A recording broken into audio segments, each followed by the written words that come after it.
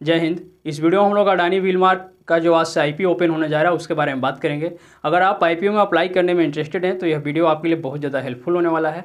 और जो नए लोग हैं, जो सिर्फ़ जानकारी लेने के उद्देश्य से इस चैनल पर आए हैं, उनके लिए भी वीडियो काफ़ी ज़्यादा हेल्पफुल होने वाला है। आइए देखते हैं।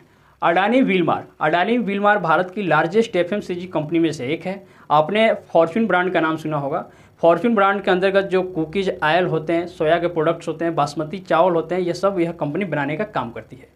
इसका आईपीओ ओपन होने जा रहा है सत्ताईस जनवरी, यानी कि आज से, और आईपीओ क्लोज होगा इकतीस जनवरी को। देखिए, किसी भी आईपीओ में सिर्फ़ तीन दिन का टाइम मिलता है, लेकिन इसमें ज़्यादा टाइम इसलिए मिल रहा है क्योंकि बीच में सैटरडे और संडे है।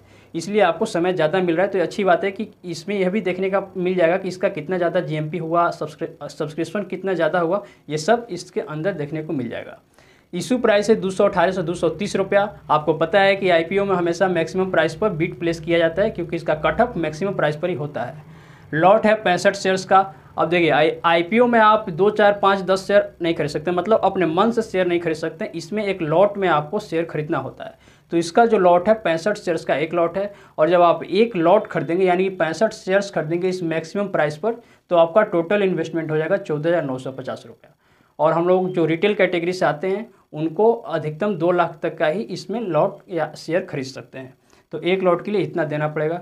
फेस वैल्यू है एक रुपया पर इक्विटी शेयर, इस कंपनी का फेस वैल्यू है। अगर आप अडानी बिल मार्क के एम्प्लॉय हैं या आपके पास अडानी इंटरप्राइजेज लिमिटेड कंपनी के शेयर्स हैं, आप शेयर होल्डर्स हैं तो आपको इक्कीस रुपया प्रति शेयर पर डिस्काउंट मिलेगा। यानी कि दो सौ तीस रुपया में आपका इक्कीस रुपया कम हो जाएगा अगर आप इसके एम्प्लॉय हैं तो।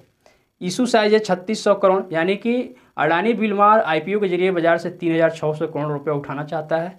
और यह लिस्टिंग होगा बीएससी एनएससी यानी कि यह जो आईपीओ आ रहा है बीएससी और एनएससी दोनों पर लिस्टेड होगा।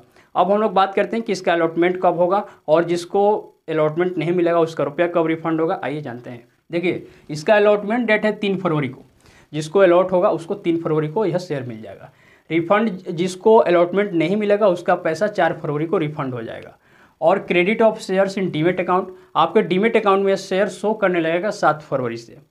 और आईपीओ लिस्टिंग होगी आठ फरवरी को। आठ फरवरी को एन एस सी दोनों पर लिस्ट हो जाएगा। तो जिसको इसमें अलॉटमेंट नहीं मिलता है, एक बार जब कंपनी एन एस पर लिस्ट हो जाएगी तो आप इस कंपनी का शेयर भी बाई कर सकते हैं लॉन्ग टर्म के लिए।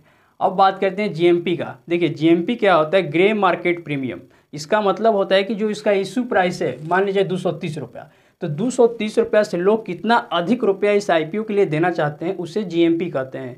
ग्रे मार्केट प्रीमियम तो आप देखेंगे सत्रह से अठारह जनवरी तक एक सौ सत्तर रुपया लोग अधिक देना चाह रहे थे इस आईपीओ के लिए। लेकिन उन्नीस से तेईस जनवरी के बीच ही कम होकर सौ रुपया हो गया और कल तक यानी कि छब्बीस जनवरी तक जीएमपी रह गया था सिर्फ़ पचास रुपया। अब ऐसा क्यों हो रहा है? क्योंकि मार्केट डाउन जा रहा है, आपको पता है। हालाँकि अब रिकवर होना शुरू हो गया है, लेकिन मार्केट जब डाउन जा रहा था तो लोग इसमें रुचि कम दिखाने लगे और इसका जीएमपी कम होने लगा। लेकिन अब मार्केट रिकवर हो रहा है तो जीएमपी बढ़ेगा और चूँकि अभी आईपीओ क्लोज होने में इकतीस तारीख तक टाइम है तो पूरा चांसेज है इसके ओवर सब्सक्राइब होने का और जीएमपी के बढ़ने के। अगर ओवरऑल बात करें तो ओवरऑल इस कंपनी को अच्छी लिस्टिंग मिलने की उम्मीद है, क्योंकि यह जो कंपनी एफएमसीजी की कंपनी इसका डिमांड हमेशा रहने वाला है तो इसे अच्छी कंपनी में कंसिडर किया जाएगा। और अडानी नाम ही काफ़ी इस कंपनी के आईपीओ में अच्छी लिस्टिंग इन दिलाने के लिए। और भारत में जनरली किसी भी कंपनी का आईपीओ आता है, उसको ओवर सब्सक्रिप्शन होने के चांसेस अधिक होते हैं। तो कोई शक नहीं है। और मैं बार बार कहता हूँ कि जो आईपीओ होता है ना, इसका कंपनी के फंडामेंटल पर इतना अधिक डिपेंड नहीं करता है। डिपेंड करता है मार्केट में उसकी हाइप क्या है। और ये हाइप कौन बताता है? जीएमपी तो अभी समय है जीएमपी बढ़ेगा और ओवर सब्सक्रिप्शन भी होगा। तो आई होप उम्मीद करता हूँ आपको वीडियो इन्फॉर्मेटिव लगी होगी। अगर मन में कोई सवाल है या कुछ पूछना चाहते हैं तो उस कमेंट में पूछ सकते हैं। मिलते हैं नेक्स्ट वीडियो में। आज के लिए बस इतना ही। शुक्रिया।